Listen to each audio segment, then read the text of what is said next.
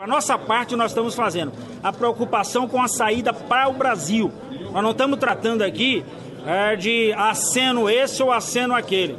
Reorientar determinadas parcerias ou talvez tentar fazer reconciliar caminhos. O debate aqui é um caminho para o Brasil.